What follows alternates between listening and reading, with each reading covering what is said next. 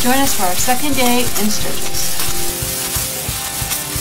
We did the rides in the Black Hills during the day and went to Sturgis to party at night. Iron Mountain Road, or 16A, is one of the roads we wanted to make sure we got a chance to ride. Here I am at the Norbeck Overlook sign. Iron Mountain Road has a few lookouts and some narrow tunnels like Needles Highway.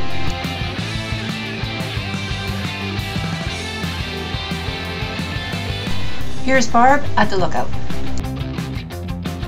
This lookout is close to Keystone and gives us a great view of Mount Rushmore National Memorial.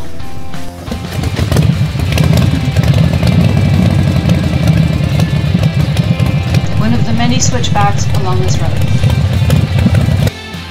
Stockade Lake. The lake is closer to Custer and is past the super twisty part of Highway 16A.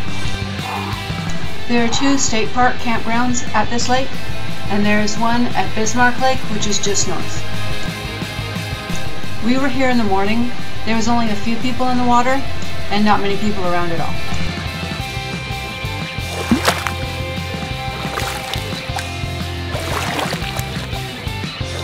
The beach at Stockade Lake.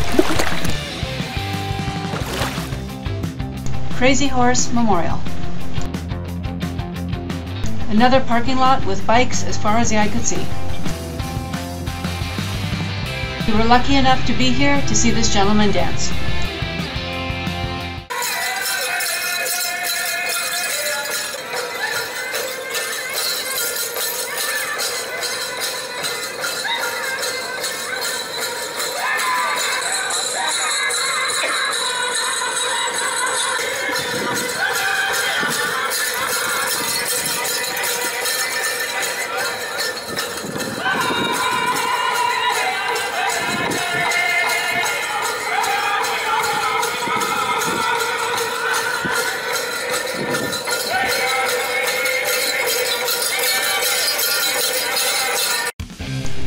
This is on the bus tour to the base of Crazy Horse. The bus takes the passengers to the base of the mountain, which is much closer than the visitor center. It's a 25 minute round trip and $4 per person.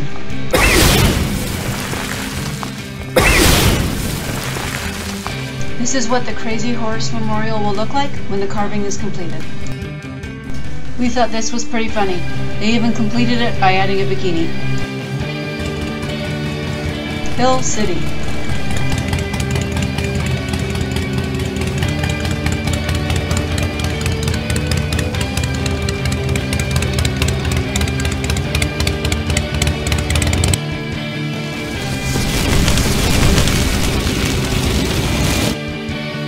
A good place to stop for lunch.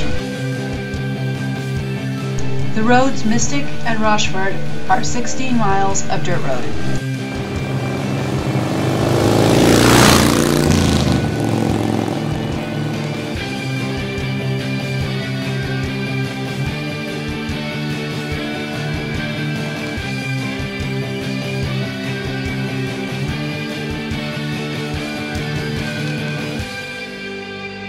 Here's Barb at the Rochford Mall.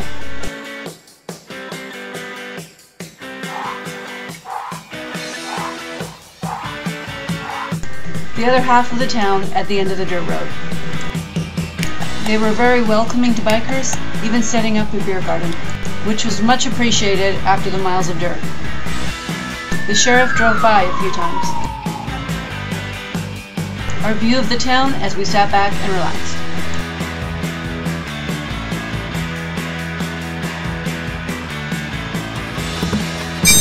Town of Deadwood.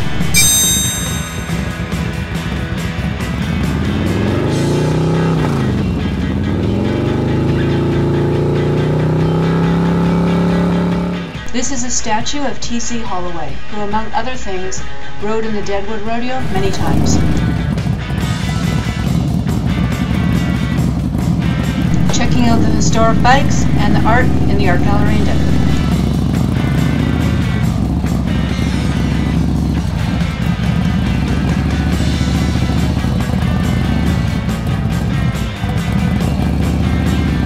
some of the cool customs we saw on the street.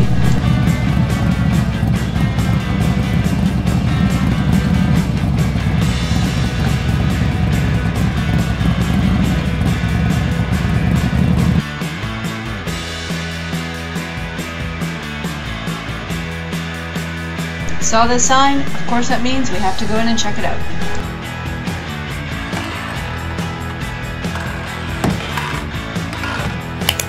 Here's Paul at the bar. We had a drink and looked at all the historical items around the saloon. There's a tour and a show of Wild Bill's death, but not when we were there.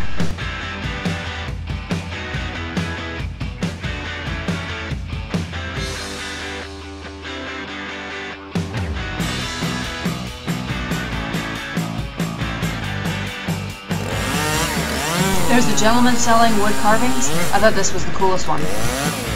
Paul with Wild Bill Hickok.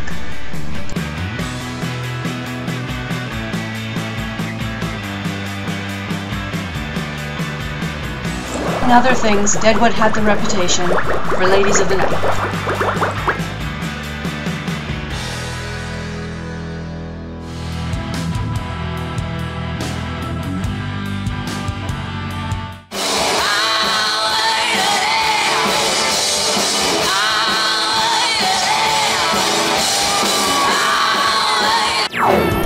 Back in Sturgis.